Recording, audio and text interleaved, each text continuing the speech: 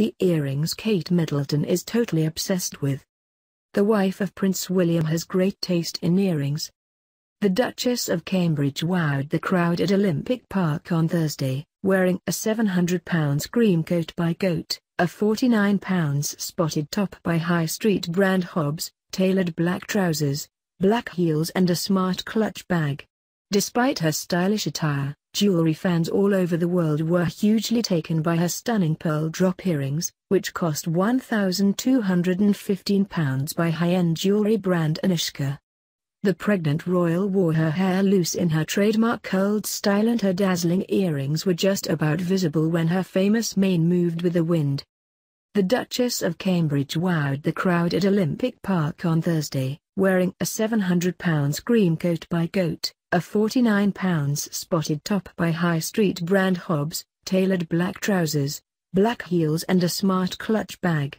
Despite her stylish attire, jewelry fans all over the world were hugely taken by her stunning pearl drop earrings, which cost £1,215 by high-end jewelry brand Annoushka.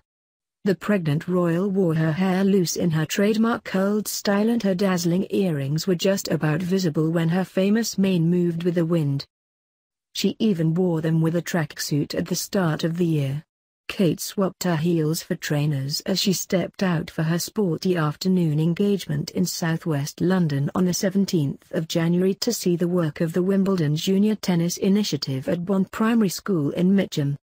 The 36-year-old, wrapped up warm in a white track jacket from Clarins, priced at £129 and her super glam earrings. Thursday's appearance was the very last official engagement the mother of Prince George, 4, and Princess Charlotte, 2, undertook before her maternity leave starts.